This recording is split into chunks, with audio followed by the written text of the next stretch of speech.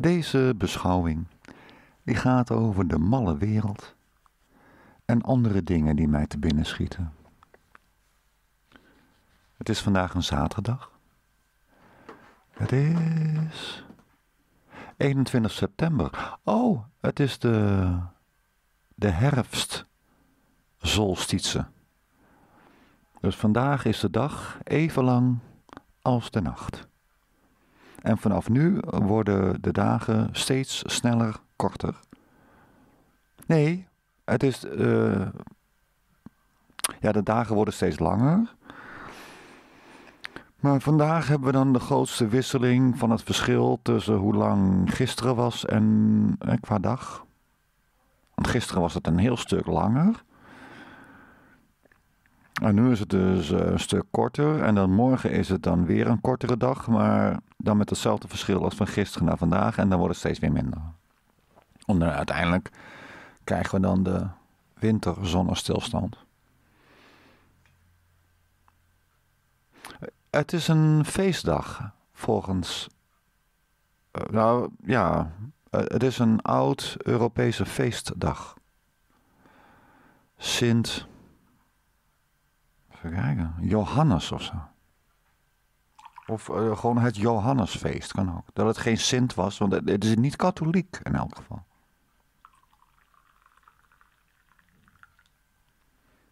Ik weet dat van Rudolf Steiner. Daar heb jij weer wat geleerd. Rudolf Steiner, die man van de antroposofie. Die was niet gek, by the way.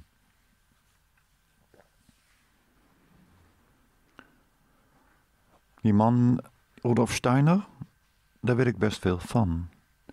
Die, die was eerst bij de Theosofen, die club van Helena Petrovna Blavatsky. Die Russische aristocratische vrouw, ik hoop dat je die kent. Ik heb er anders nog een nieuwsuitzending over gemaakt. Dan kan je die beluisteren. En Rudolf Steiner, die was bij die theosofische beweging en die is ermee opgehouden. Die zegt, dit is, dit is onzin, hier wil ik niet langer aan meedoen. En van hem is opgetekend dat hij ooit heeft gezegd, nadat hij bij die theosofen weg was, neem ik aan, dat hij heeft gezegd dat een mens die niet inziet wat de waarde is van het christendom, die is mentaal uh, beperkt. Die is gek. Die, is achterlijk.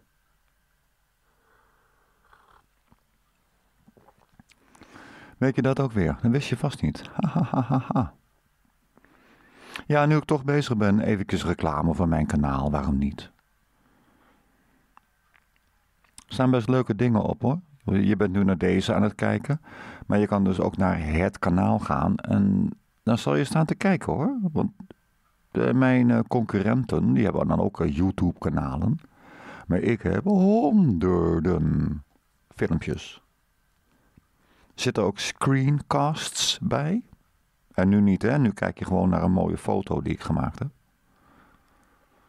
Al die foto's heb ik zelf gemaakt. Maar er zijn er ook, en dan kan je kijken naar mijn beeldscherm. En dan zoek ik dingen op en uh, heb je ook een beetje bewegend beeld. Hele mooie met Jurk Gliesman samen, waar ik erg trots op ben.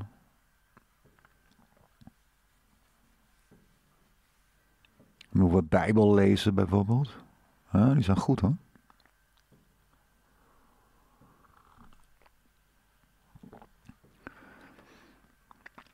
Nee, ik hoop dat je er eh, een keer gaat kijken. Ik kijk toch bijna, ja, ik kijk elke dag naar wie er kijkt naar mijn kanaal. Ik zal even met jullie erbij, ga ik het ook even doen. De analytics heet dat. Dat is wel leuk.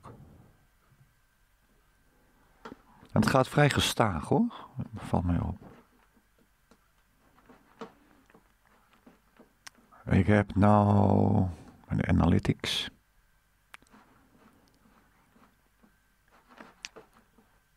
Even kijken hoeveel uh, abonnees ik heb. Oh, iemand is weggegaan. Oh. Nou, dan is er weer ruimte voor een nieuwe. ik heb nou weer 62 abonnees. Iemand is per ongeluk lid geworden. En de afgelopen 48 uur hebben er 48 mensen gekeken. Nou, dat is toch leuk.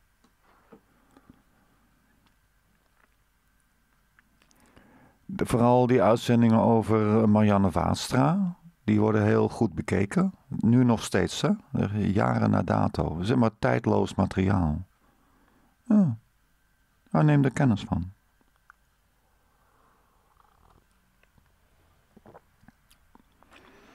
Genoeg reclame. Oh ja, uh, ik vind het leuk als je like doet. Dat vind ik erg grappig. En ik vind het leuk als je een reactie geeft.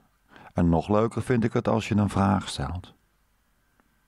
En abonneer, abonneert natuurlijk, want ik, ja, ik ben er eentje kwijtgeraakt. Er moet er weer eentje bij hoor. ja, niet echt. Ik verdien er helemaal niks mee. Dus. Eh. Het is meer ter lering en de vermaak van iedereen. En de laatste tijd heb ik toch weer een aantal likejes binnengehaald hoor. Ja, uh, toch eventjes en even, kijken. 1, 2, 3, 4, 5, 6, 7, 8, 9, 10, 11, 12, 13, 14. Ah, likejes, hoppakee.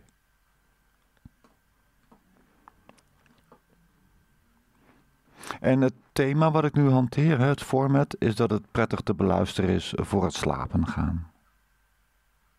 Wat ik ook maar behandel. En vandaag wordt het uh, varia. Ik weet het niet waar ik het over ga hebben. Ik weet dat ik me de afgelopen dagen echt heb verdiept in mijn eigen constatering dat de hele wereld helemaal nergens over gaat.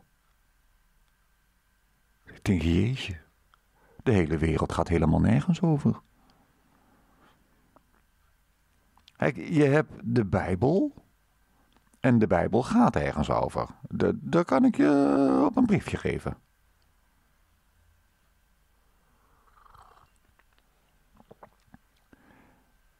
En gelukkig worden er van de Bijbel eh, heel wat exemplaren per dag uh, bijgedrukt. En niet om ze dan ritueel te gaan verbranden. Nee, die worden verkocht. Per dag worden er duizenden Bijbels verkocht. Nou, dat is mooi natuurlijk. Ja, laten we wel zijn. Dus er zijn wel mensen die uh, besef hebben van geschiedenis en, en, en snappen dat er zoiets moet zijn als een God. En dat ze ook snappen dat het logisch is dat er zo'n boek zoals de Bijbel geschreven is. Geschreven is en ja, dat we jaren na dato nog steeds weten van dat boek. Want ja, het had ook zo kunnen zijn dat Mozes alles had opgeschreven en hier.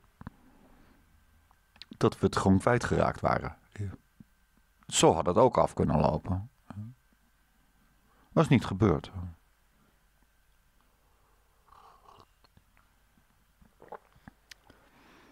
Ik had toen mijn dochter, dat is alweer een jaar geleden denk ik. Had ik haar uh, gestrikt. Ik zeg, uh, zullen we daar en daar afspreken? Ik zie dat niet zo vaak, hè, dus ik moet altijd uh, bedelen om contact. Maar goed, uh, maakt me niet uit. Ja, het maakt me wel uit natuurlijk, maar ik zet me naar de situatie. Hè. En tegen haar gezegd ja, dan krijg je een cadeautje. Dan krijg je een boek van meer dan 400 jaar oud. En toen kwam ze daar, ze was netjes op tijd. Ze was zelfs een beetje aan de vroege kant, had ik niet verwacht. Ze zat er al. En ik geef haar de King James Bijbel uit 1611. Toen keek ze toch beteuteld. En ze, oh, de Bijbel. oh, is dat alles? En toen liet ze hem ook nog op de grond vallen uh, toen ze bezig was om hem in de tas te stoppen. Nou, het was een stevig boek, die kwam wel een tegenstootje, tegen een stootje.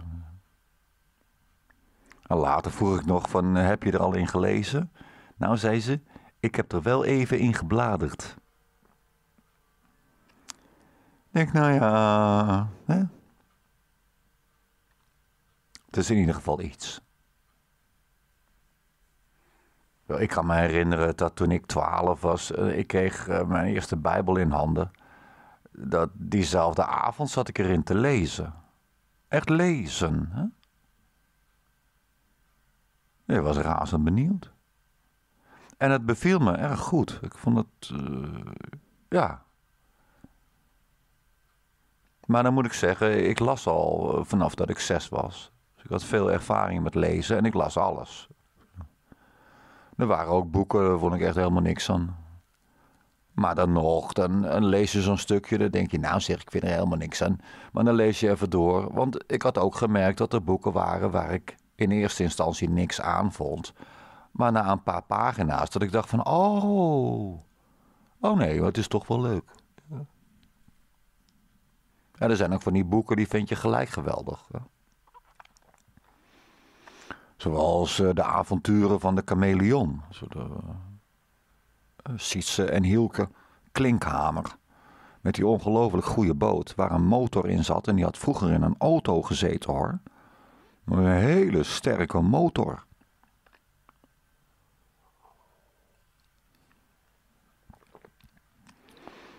Ja, leuke kinderboeken. Kijk, zo'n boek, dat vond ik gelijk geweldig. En er waren ook boeken die ik helemaal niks vond. Ook niet na een paar pagina's dat ik dacht, nee, ik trek het echt niet. Ik trek dit niet. Nog een saaie boeken. En andere kinderen die lazen die boeken dan wel en die vonden dat heel interessant. Ja, en ik dan niet. Maar de Bijbel, joh. Ja, dat vond ik goed. Ook een goed boek. En ik had al snel in de gaten dat ik het Nieuwe Testament ook heel interessant vond. Oude Testament ook hoor, maar het Nieuwe Testament. En dan in het Nieuwe Testament vooral de parabelen van uh, de Heer, Jezus. Het koninkrijk der hemelen is als bla bla bla bla bla bla bla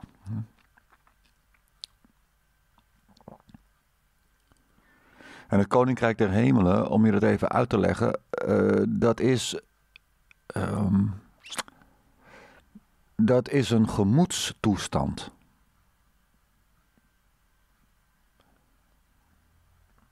Ja, de, naar de hemel ga je als je doodgaat. Of naar de hel.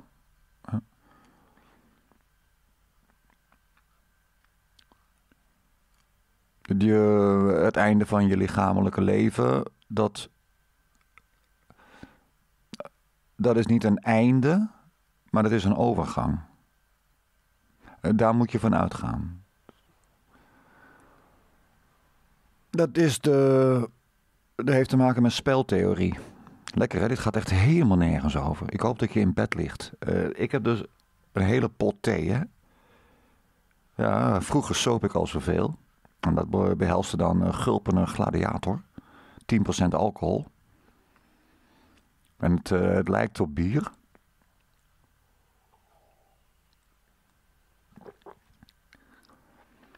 Ja, nu zit ik aan de thee. Ja. Maar ook in grote hoeveelheden hoor. Ja, één keer een suiplap, altijd een suiplap. Maar speltheorie, dat is de wiskunde van het winnen. Van spelletjes. En spelletjes die speel je om te winnen, of niet?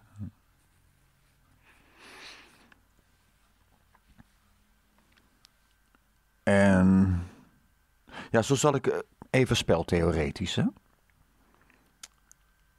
Er was een computerspel. Dat is er nog steeds. Maar dat was toen heel populair. En dat was 8 bits. Dus in de spelcomputertijd, in, in het begin, in 1980 heb je het over. Ja, toen speelde ik dat. Daar had ik een 8-bits computer van mijn eigen. Of was het, nee, dat was 16 bits al. Nee, dat was al 16 bits. En het heette Leisure Suit Larry. Heel grappig verhaal. Nou, Leisure Suit Larry, dat spelletje, dat is, um, was een variant van het begrip adventure game. Dus daar hoef je niet handig in te zijn. Het was puur een kwestie van dat je een karakter bent en dan zie je een plaatje. Je zit als het ware in een stripverhaal. En dan moet je kiezen. En je hebt zoiets als een inventory. En dat zijn de dingen die je oppakt. Dus je kan zeggen, dat neem ik mee en dat neem ik mee. En ja, als je ergens een sleutel ziet liggen, moet je altijd die sleutel meenemen. Want je weet nooit waar het handig voor is. Hè? Dus dan neem je een sleutel mee en even later kom je bij een deur en die zit op slot. En dan kan je zeggen gebruik en dan kies je iets uit je inventory, je, voorraad. Gebruik en dan uh, klik, klik, klik, klik met de muis kies je dat uit. Met de pijltjes. Gebruik de sleutel um, om de deur te openen. Dat is heel leuk. Dat is een leuke software. De, ik, ik, weet ook hoe je dat soort dingen maakt. En dat is die software die eronder zit, die engine, is niet dom hoor.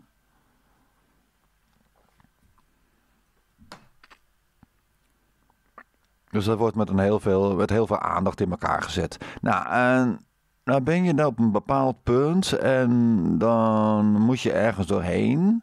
Maar dan moet je een, een toegangskaartje kopen. Zoiets. Dus de toegang is dan uh, eh, 2000 dollar of zo. Ja, en waar haal je dan die poen vandaan? Nou, er is er ergens in een van die ruimtes, daar staat een eh, zo'n pin, nee, een, uh, niet een pinballmachine wou ik zeggen, maar zo'n ander ding, hoe heet dat? Zo'n gokkast. Eh, dat je zo'n eenarmige duivel, dan moet je zo aantrekken en dan, dan krijg je die nummertjes. En dan ping, ping, ping. En je moet er geld in gooien. En dan trek je aan die hendel. En dan, ja, soms ben je al je money kwijt en soms heb je wat gewonnen. Daar komt het op neer. En hoe kom je nou eh, aan voldoende geld om door de deur te komen? Want eh, je probeert van alles, maar op die gokmachine, ja, je kan wel blijven gokken, maar dan begin je weer te verliezen en dan ben je alles weer kwijt. Ja. Dan kan je weer terug naar de plek waar je gesaved hebt. En dan kan je weer, uh, je hoeft niet helemaal naar het begin terug, maar je gaat dus naar de safe plek waar je bewaard hebt. Die ga je weer terug en, die haal je weer naar voren en dan begin je overnieuw. Ga je weer naar die gokkast, ga je weer gokken en dan verlies je weer. Ah, nou, speltheoretisch, dus als je er goed in bent, dit is een speltheoretische puzzel. Hoe los je dit op? Dit is vrij simpel hoor.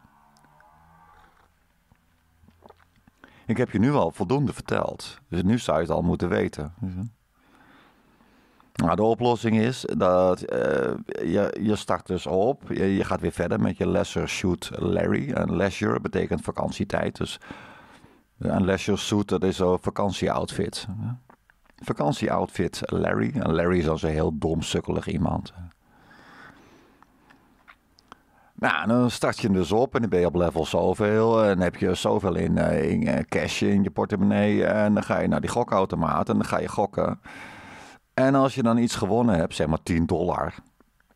100 dollar, maakt niet uit. Hè? Je hebt iets gewonnen, je staat in de plus. Dan doe je save. That's it. Nou, dan heb je save gedaan. En dan roep je die save op. heb je dus 10 dollar meer op zak dan de vorige keer dat je speelde. Ga je weer naar die gokautomaat. Ga je weer spelen. Verlies je? Nou, niks aan de hand. Ga je terug naar die gesavede game. Maar win je weer wat? Hup, doe je weer save. Dan heb je weer, weer 10 dollar erbij. Nou, en dat herhaal je dan, herhaal je dan, herhaal je dan, herhaal je dan. Dus iedere keer dat je winst hebt, even saven. Dat is alles. That's it. Ja, dat was de oplossing. Lesser Suit Larry heb ik volgens mij niet helemaal uitgespeeld. In mijn eentje, of ik kreeg wat tips van andere mensen. Want deze met die gokkast, moet ik eerlijk zeggen, die had ik zelf dus niet opgelost. Nee, terwijl ik dat eigenlijk had moeten kunnen, natuurlijk. Ik ben toch slim, of niet? Maar dan terug naar het leven, uh, speeltheorie van het leven. Kijk, er zijn twee mogelijkheden. Of de dood eh, heeft een einde, of is een einde. En dan maakt het geen donder uit of je nou goed geleefd hebt of slecht geleefd hebt. Nee, maakt echt geen zak uit. Maar dat weet je dus niet. Hè?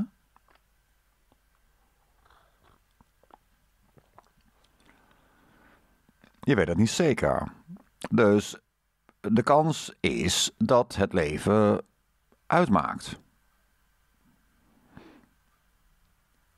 Nou, en als het leven dan uitmaakt, dan, en dat weten we zeker, dan gaat het erom dat je, zoals ze dan zeggen, goed geleefd hebt.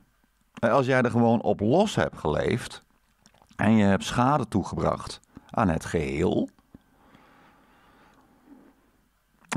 Jij was een man en je hebt een hele lieve vrouw ontmoet. En die zorgde godstak goed voor het huishouden. Kon nog lekker koken. En jij bent gaan wipperen met je secretaresse. Je hebt je kinderen in de steek gelaten. En, nou, wat heb je er meer van rotzooi uitgevroten?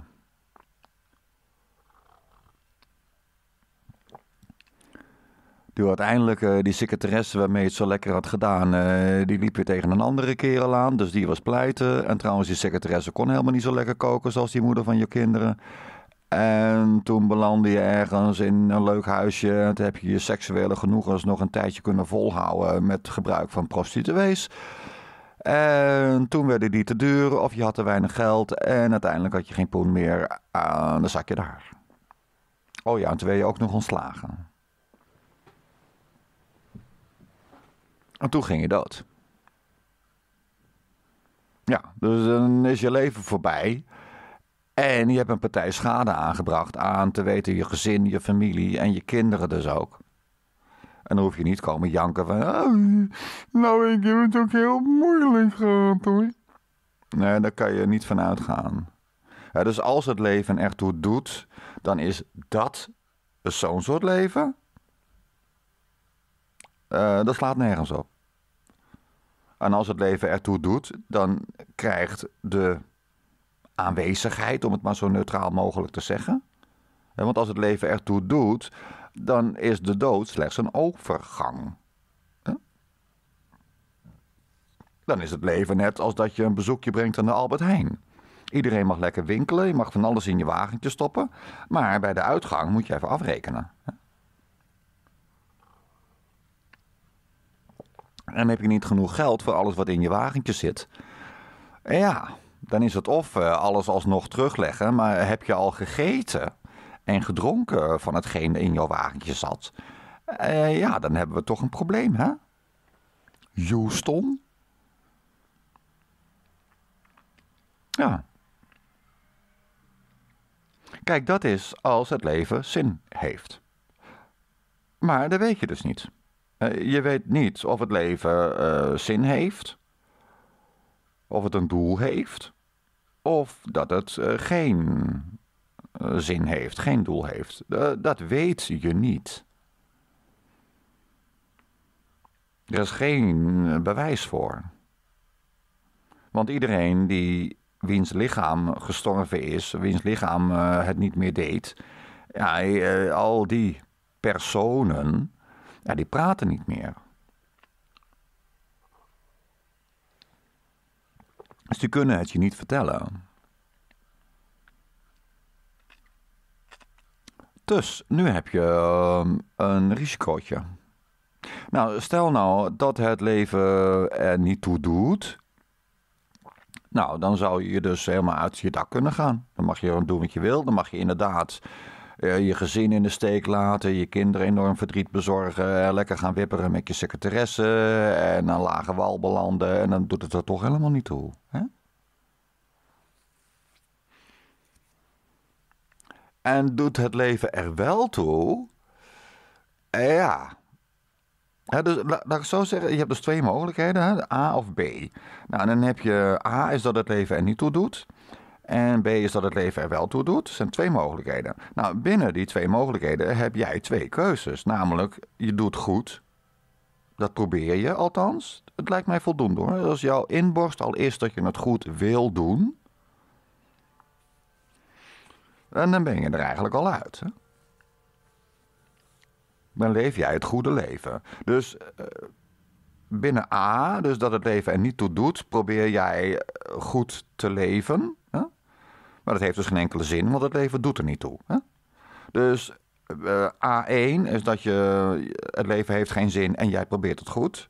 Nou, dat leidt tot niks. Want het leven heeft geen zin. Hè? Nou, A2, het leven heeft geen zin en jij hebt er een enorme puinhoop van gemaakt. Hè? Lekker seks gehad met je secretaresse en je gezin in de steek gelaten. Je allemaal maffe dingen gedaan. Je hebt A2 gedaan. Nou ja, dus uh, ja, het leven heeft toch geen zin, dus dat is nul. Ja? Dus dat is uh, twee keer nul. Dus als het leven geen zin heeft, maakt het niet uit wat je doet. Hè? Maar we weten niet zeker of het leven zinloos is. Dat weten we niet zeker. Nou, stel dat het leven nu niet zinloos is, maakt het dan uit. Dan heb je dus B. Nou, B1 is dat je goed doet. Nou, als het leven zinvol is, dan kom je met een goed leven in de hemel. En dan leef je eeuwig. En dan heb je geen verdriet meer, dan is er geen pijn meer, dan heb je. Wow. Maar je, bent enorm tevreden en blij.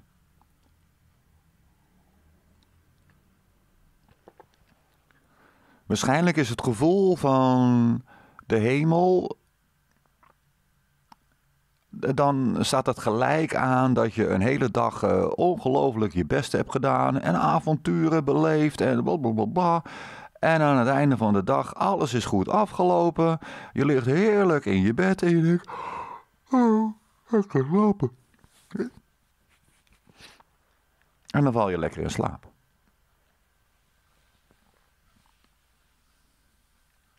Zoiets. En ja, je valt in een hele diepe slaap en je voelt je geweldig. En je denkt niet eens aan morgen. Ja. Zoiets zal de hemel zijn, denk ik. Nou, en heb je dan niet B1 gedaan, maar je hebt B2 gedaan, ja, dan kom je zwaar in de min.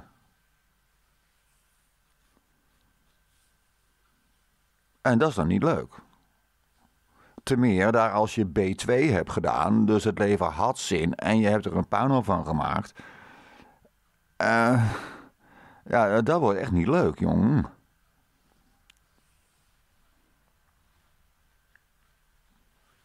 Nou, en als je dan uh, speltheoretisch hier naar kijkt, dan heb je dus A1 en A2, ja, dat is allebei 0. En heb je B2 en eh, dat is uh, ja, zwaar ellendig. Dus jij moet kiezen, kies ik voor 1 of kies ik voor 2? Nou ja, A1 en A2 en B2, dat is allemaal tezamen een 0 of heel vervelend. Het enige wat je wat oplevert, is A1. Dus het enige wat mogelijk wat oplevert, dat is iets maken van je leven. En dat leven goed leven. Niet je vrouw en je kinderen in de steek laten.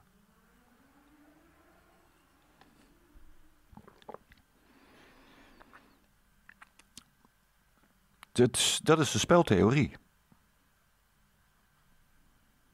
En dat staat helemaal los van de Bijbel. De Bijbel is er namelijk heel strikt over en de Bijbel zegt dat het leven zin heeft.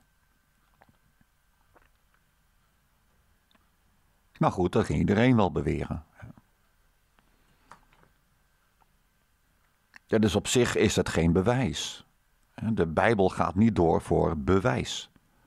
Het enige punt is dat als de Bijbel niet klopt, uh, dat dat boek op een hele toevallige manier uh, razend kloppend in elkaar zit. Zo wordt in de Bijbel gesproken over het getal 666. Ja. En daar heb ik een nieuwsuitzending aan gewijd. Dat is nieuwsuitzending 666. Die moet je zo kunnen vinden. Ga eens even kijken of die. Of dat werkt. Hij kent naar opera. Niks, totaal anoniem. Dat kan niet toch, hè? Nieuw privévenster. Ik ben in de privéstand. Ja, precies. En dan zoek ik op nieuws. 666. Google search. Hoppakee. Staat gelijk bovenaan.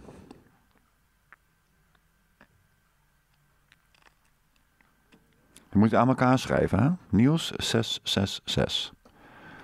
Moet je zoeken op Google.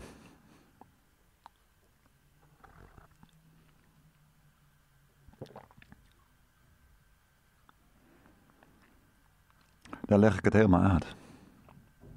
Goeie uitzending. En staat mooi netjes bovenaan. Heb ik allemaal niet gedaan. Dus uh, mooi, uh, ja, maar zeggen toevallig. Ah, niet helemaal. Het is ook een reden voor dat ik uh, nieuws en 666, dus nieuws en het nummer van het nieuws, dat ik dat zonder spatie doe, dat het één woord is. Want ik weet wat van die zoekalgoritmes namelijk. Dus nieuws spatie 666, ja, dan sta ik tussen alle dingen met nieuws. Hè? Maar als één woord, ja, is wat anders. Hè? Kijk, en dat is wel erg toevallig. En ik zag van de week een man op internet een praatje houden. Dat was een filmpje, dat was niet live, een oudere man. En die was een studie gaan maken van het evangelie van Marcus. En dan de laatste twaalf versen. En daar zit op allerlei manieren zit daar het getal 7 in verweven. Ja. En het getal 7 is het getal van de Heer, by the way. Zoals 666 het getal is van het beest. Zo is het getal 7 het getal van de Heer.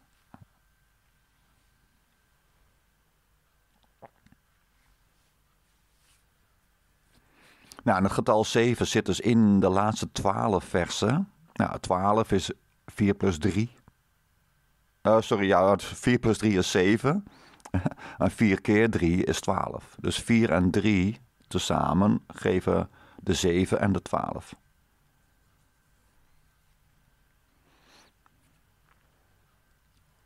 Vandaar dat het, ja, daarom heeft Jezus ook 12 uh, volgelingen.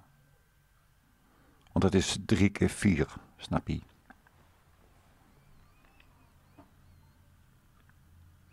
Ja, zo zit het boel uh, ongelooflijk met getallen in elkaar.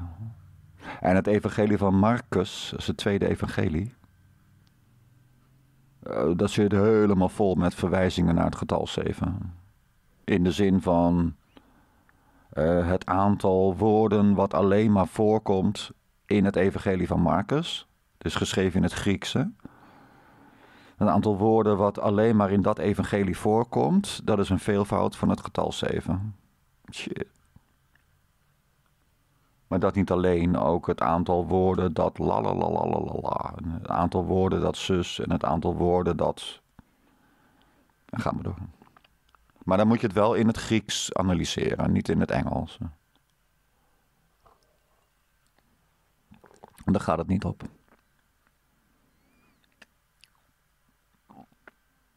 En dan heb je ook nog gematria. Dat is ook wel belangrijk dat jullie dit leren hoor. Ik zeg wel, dit, uh, dit is een, uh, het gaat over de malle wereld. Maar er is wat afgeschreven door de mens. En het is niet allemaal onzin. Sterker nog, de hoeveelheid, ja, er is wel veel onzin. Maar het merendeel van wat ik gelezen heb, is geen onzin. Echt niet. Ik heb hier zo'n boek in huis en dat heet Consciousness Explained van Daniel Dennett. Nou, mensen zullen zeggen, nou, dat is echt uh, blatante onzin. En dat is het ook. Maar niet helemaal. Het is toch de moeite van het lezen waard, hoor. Zo, dat geldt eigenlijk voor alles. Ik heb ook uh, het boek van uh, L. Ron Hubbard, die stichter van de Scientology-kerk. Ik heb dat boek hier je dat ook alweer? Dianetics of zo. Gekocht in een tweedehands boekwinkel voor 1,50 euro.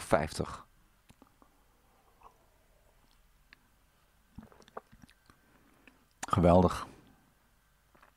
Ja, het merendeel van, daar, van dat boek is onzin, maar niet allemaal. Niet alles wat erin staat is onzin. Dat is niet waar. Nou, een gematria, dat is de leer waarbij aan elke letter een getalswaarde wordt toegekend. En met name in het Hebreeuws is dat. Uh, hoe, moet ik dat zeggen? Het Hebreeuws om te beginnen heeft 22 letters. Het alfabet, hè? het alef, byte. En 22 is. Uh, als je 22 refereert aan het getal pi. En pi is de verhouding tussen de omtrek van een cirkel en de diameter. 3.141591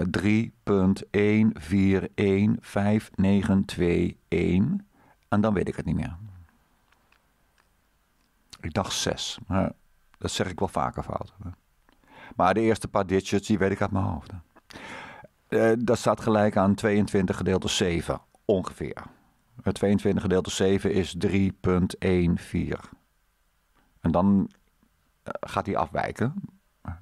En 7 is het getal van God. En 22 is het aantal letters in het Hebreeuws alfabet. Nou, die letters die hebben een uh, numerieke waarde. Ik ben momenteel Hebreeuws aan het leren. En de eerste letter van het Hebreeuws alfabet is Alef. En dan krijg je Alef, Beit, Gimel, Dalet, He, Vav, Zain, Get, Tet, Jod.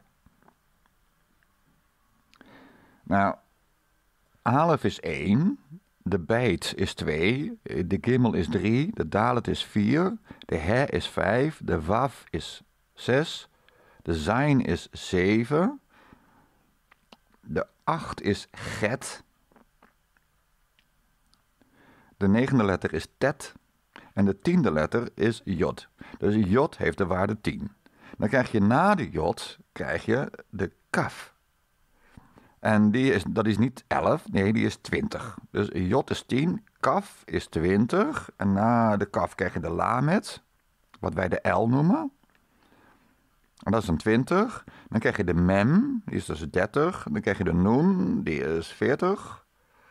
En dan krijg je de, de, de, ja, de S dus. De som of zo. Ik ben niet zo heel goed in, de, rest van het alfabet. Wat ik doe dus uh, via Duolingo. En ik hou me voorlopig alleen maar bezig met de alef, de beet, de he de vav, de get, de jod en de lamet. En de mem. Oh ja, en de noen. De noen ook. Oh, en de laatste letter van het uh, Hebreeuws alfabet, dat is de tav. Of de tau. En als je nou de eerste letter neemt van het Joodse alfabet, dat is de alef, en dan doe je daar de tau achteraan, dan krijg je at. Uh, dat betekent jij. Dat is geweldig. Nou, die, als je dan een woord hebt. Dus als de, de kaf is dan, wat zei ik, is 20. Hè? Dan heb ik de 20, 30, 40, 50, 60, 70, 80, 90. En dan heb je de, de kop, die is dan 100. En dan de resh is dan 200. De shin is dan 300 en de tav is dan 400. Dus dan is alef tav is dan 1 plus 400. Is 401. En dat is dan weer 401 is gelijk aan 5. En 5 is het aantal vingers aan één hand. En dat ben jij. Dit soort dingen, mijn, dochter, ik noemde haar een voorbeeldje. En toen zei mijn dochter, ja, ja, ja, zo kan je alles wel, uh, overal wel een uh, toevalligheid inzien. Ja. Maar in het uh, tweede evangelie van het Nieuwe Testament, van de Bijbel, het aantal toevalligheden, dat is zo enorm, dat, dat is niet meer toevallig. Kijk, als jij een dobbelsteen koopt bij de spelletjeswinkel. En dan gooi je één keer mee en dan krijg je een 6. En dan gooi je er nog een keer mee, krijg je weer een 6. En dan gooi je er weer een keer mee, krijg je nog een keer een 6. En de hele avond ga je ermee gooien en je hebt iedere keer een 6. En weer bij elkaar heb je honderd keer achter elkaar een 6 gegooid. En jij gaat terug met die dobbelsteen naar de spelletjeswinkel en je zegt deze dobbelsteen is niet goed. En dan zegt die man waarom dan niet? Zeg je nou ik heb er honderd keer mee gegooid en ik kreeg honderd keer een 6. Ja, zegt die man, het is een dobbelsteen. Ja, dit kan dan ook hoor. nee, dat kan niet. Als je honderd keer achter elkaar een 6 gooit met een dobbelsteen, is die dobbelsteen, hoe noem dat? Ja, loaded, zeggen ze dan op zijn uh, Engels. Zo is het Nederlandse woord daarvoor. Ja, dan doe je een stukje lood, doe je, eh, waar de dobbelsteen een 1 heeft, dan doe je een klein stukje lood erin en, dan gooi je ermee en dan komt altijd de 1 onder en dan krijg je de 6 aan de bovenkant. Dat is een valse steen dus. En dat is niet toevallig. Als je dan honderd keer een 6 gooit, dat is niet toevallig. En als het toevallig zou zijn, zou het extreem toevallig zijn. Zo ongelooflijk toevallig dat we dat niet meer. Dat geloven we gewoon niet meer. Ja, zo ken ik het verhaal van een, een echtpaar en het ging op vakantie. En die vrouw die werkte in het onderwijs. En dan waren ze ergens op een camping.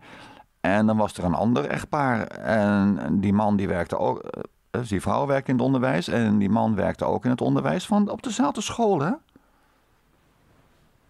En die waren dan ook op de camping. En dan zei die man van die vrouw, die zei tegen die vrouw van... Oh, dat is ook toevallig dat die op de camping staan. Ja, zei die vrouw, toevallig. En het jaar erop zaten ze op een heel andere camping. En er was weer dat andere gezin. Dat was ook op die camping. En dan zei die man weer tegen zijn vrouw... Nou, dat is wel toevallig, hè? Eh, die mensen die waren vorig jaar bij ons op de camping. En nu weer. Dat is wel toevallig. En het jaar daarop zaten ze op weer een heel andere camping. En er was weer dat gezin. Met die man. Die ook in het onderwijs zat. En die man zo van, nou, ik vind het wel heel erg toevallig worden. Dus die werd een beetje achterdochtig. en ja hoor, zijn vrouw had een verhouding met die man. Nou, dat kwam uit. Er werd een knetterende ruzie. Het was dus helemaal niet toevallig, nee. Eén keer, dat zou kunnen. Maar niet de hele tijd, man. En als het evangelie van Marcus, die laatste twaalf versen... Uh, ja, er zitten zoveel toevalligheden in dat het niet meer toevallig is. En dan kan je nog denken van ja, dat heeft Marcus, eh, die, degene die het geschreven heeft, eh, dat heeft hij er allemaal ingeknutseld. Ja, dan heeft Marcus een brein, jongen. Nee, nee, is hij echt een supergenie, die Marcus dan, hè? Ongelooflijk. Nee, maar. Ja, kortom, dat gaat ook niet. Nou, en dan is de enige verklaring dat, uh, dat er een, ja, zeg maar iets van bovenaf of binnenuit of zo. Uh, dat die dat eventjes geleid heeft. Maar waarschijnlijk wist Marcus niets van deze bijzonderheden. Want om alleen die bijzonderheden te kunnen constateren, daar heb je toch echt een computer voor nodig. Bijvoorbeeld, uh, hoeveel woorden staan er in het Evangelie van Marcus die niet voorkomen in de rest van de hele Bijbel niet? Nou, het Nieuwe Testament dan moet je rekenen, want dat stond in het Grieks. Hè? Oude Testament, uh, dat is dan vertaald in het Grieks, maar ik weet niet of je dat moet meetellen. Maar dan nog. Hè?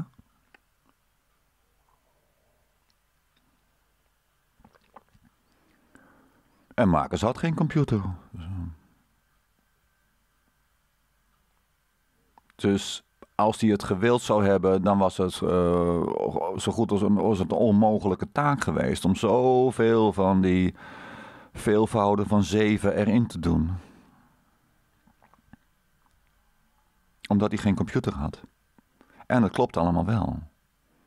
Ja, wie oh wie heeft er dan voor gezorgd dat het evangelie van Marcus zo klopt? Of dat die toevalligheid, tussen haakjes, erin zit.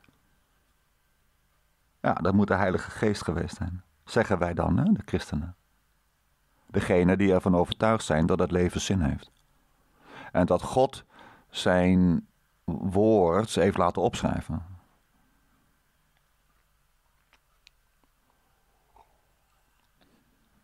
En dat heeft God gedaan uit medelijden met ons. Maar jij zou denken van, wauw, de wereld is zo'n puinhoop. God die uh, interesseert het allemaal helemaal niks. Maar dat is niet waar. De wereld is een malle wereld, zoals ik zei. Het is echt een hele malle wereld. Maar speltheoretisch dien jij het te houden. Ja, speltheoretisch moet je er rekening mee houden. Dat die wereld wel eens ergens over kon gaan.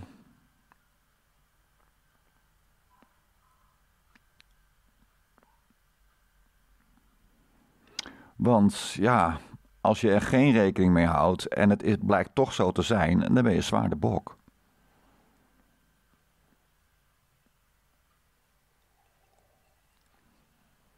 En als het hele leven geen zin had, dan, dan maakt het niet uit. Maar dan nog geef ik je ja, het advies om ook als het leven helemaal nergens over gaat, wat volgens mij niet waar is. Maar stel, zou ik je toch willen adviseren om uh, te leven alsof het leven zin heeft. En niet zo mal te doen. En neem die politici, uh, jongens en meisjes, die. Uh, ze hebben nou weer eens nieuws. Hè? Nu gaan ze zeuren over stikstofdioxide en stikstofmonoxide. Oftewel NO, NO en NO2. Oftewel, dat heet ook wel NOx. Dus stikstof met oxide erbij, zuurstofatoom erbij.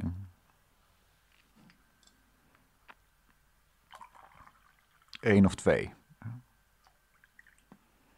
Ja, NOx, in de tijd dat ik studeerde in Wageningen, ja, was dat al een component van de atmosfeer. En het, ja, het, is natuur, het komt van natuur in de atmosfeer voor.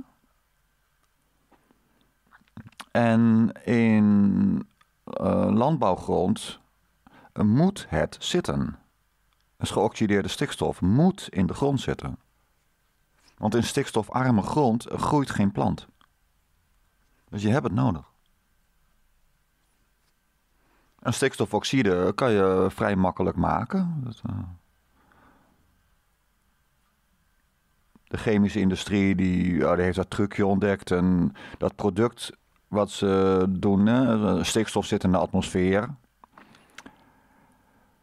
Dus het is een gas, N2 heet dat. En nou, dat is volop verkrijgbaar. 80% van de atmosfeer bestaat uit stikstof, dus dat is het probleem niet. Maar dat is atomaire stikstof en daar heeft een plant helemaal niks aan. Maar je moet dat atomaire stikstof moet je uh, oxideren, met zuurstof dus. Nou, dat, dat kunnen die chemici. En wat ze dan maken, dat geoxideerde stikstofspul, dat verkopen ze als mest. En dat heet dan kunstmest. Maar je kan ook gewoon een mest nemen. Doe neem jouw, uh, jouw urine. Daar zit ureum in, daarom is het geel. Dat komt vanwege het ureum. En ureum, dat is. Ja, dat is ook, ook, ook een oxide, dacht ik. Pak het er even bij. Ureum chemische formule. Urea? Ook over. Ja, CH4N2O. Dus het is methaan met stikstof en die stikstof is voor een deel geoxideerd.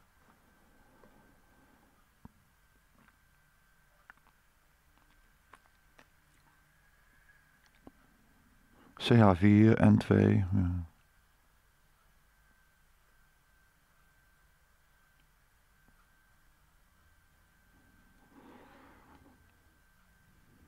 Is goed voor de planten.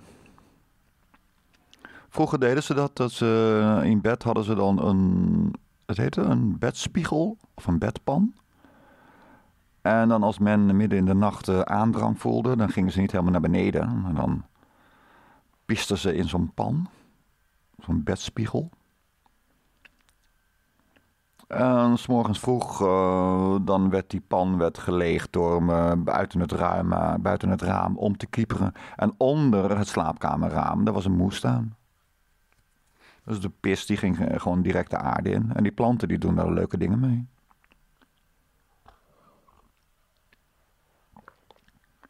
Ja, stikstofoxide is heel normaal. En ja, verbrandingsmotoren, verbrandingsprocessen, die produceren dan stikstofoxide. Dus een gijzer bijvoorbeeld, produceert stikstofoxide. En dat kan problematisch zijn. In huis dus. Hè. Daarom moet je altijd goed ventileren. In de keuken altijd een raampje open als je aan het koken bent. Dat was vroeger het devies. En ja, dat is nog steeds heel handig. Want als je eh, gaat frituren en zo, ja, doe even een raampje open. Maar mijn gijzer nu, die ik heb, ja, er zit een hele dikke buis erboven. En dan worden ja, al die afgassen worden afgevoerd. Ik heb zo'n nieuw apparaat. Maar vroeger had ik zo'n echt klein gijzertje. En dan is het verstandig om als je warm water gebruikt, om een raampje in de keuken open te hebben. En er zijn nogal wat mensen die zijn een beetje kouwelijk en die houden alle ramen dicht. Hè? Dit is dan de malle wereld. En in die huizen van die mensen zijn uh, onverantwoord hoge concentraties van stikstofoxide geconstateerd. En die mensen moeten ventileren, meer niet. En nou zit een partij zoals D66 helemaal moord en brand te gillen over het feit dat er. Uh, weet ik wel, waar hebben ze het over? In het Roergebied komt er nogal wat NOx vrij. En hier in Nederland, in de buurt van Rotterdam en Amsterdam, daar heb je vrij grote chemische installaties. Daar produceren ze het ook. Maar daar lokaal heb je vrij hoge concentraties. Maar in Nederland waait het altijd. Ja, ja, heel soms niet, maar meestal waait het. Dus dan zie je ook, ik heb zo'n kaartje gezien, dan zie je dus uh, bij het uh, roergebied stukjes en daar is het dan roodkleurig. Maar dat zijn kleine kernen. En dan wordt het al snel in de omgeving, dan gaat het van oranje naar geel naar helemaal niks. Dat betekent niet dat die stikstofoxide weg is, maar dan is die stikstofoxide concentratie zo laag. Dat, daar heeft niemand meer last van. En die stikstofoxide, als het in contact komt met water, dan krijg je salpeterzuur. En dat salpeterzuur, dat, ja, als het uiteindelijk gaat regenen, dan heb je dus een, een, een regen die licht verzuurd is. Vroeger uh, riepen ze daar moord en brand over. Oh, zure regen, oh, wat erg. Maar dat is helemaal niet zo erg. En dat komt dan in de grond terecht en daar wordt het opgenomen. En dan worden het nitraten. En die nitraten worden door de planten opgenomen. En dat is een onderdeel van plantengroei. Helemaal niks aan de hand.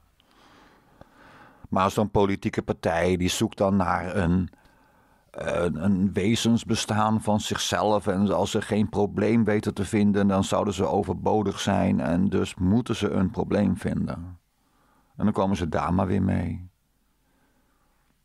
Dan denk ik, ja jongens, eh, dat NO2-verhaal en NOx-verhaal, dat hebben ze geprobeerd in de jaren tachtig, echt. En toen studeerde ik nog. Ik heb eraan meegewerkt om, uh, werden we gevraagd om er een computermodel voor te maken. En ik was er, ben er heel goed in. En toen deed ik dat. Ik heb er geld mee verdiend. Nou, oké, je wil een computermodel? Natuurlijk, joh. Nou, daar hebben we daar een computermodel voor gemaakt. Ja, en het bleek, dat er is helemaal geen uh, NOx-dingensprobleem. Punt. In de directe omgeving van intensieve veehouderijen heb je inderdaad, uh, maar dat kan je ook ruiken. Dan heb je die zware lucht. En een pislucht en zo. Ja, dan ruik je dus die ureum van die varkens of whatever. hè. Alles wat erin zit, het is niet echt fris. En die planten daar in de omgeving, in de directe omgeving, ja, die vinden het niet zo heel lekker. Maar er zijn ook weer planten die kunnen er best goed tegen. En een paar kilometer verderop is het probleem voorbij. Dus in de jaren tachtig is die relschopperij over de stikstofoxideconcentratie, die is doodgebloed. En nu beginnen ze er weer mee. Dat komt vanuit Europa. Dat is de malle wereld. Het slaat helemaal nergens op. Ik weet het. Nou, jij zegt, joh, maar Piggy, eh, jij zegt het wel dat jij het weet, maar hoe weten we nou dat jij gelijk hebt? Ja, goede vraag.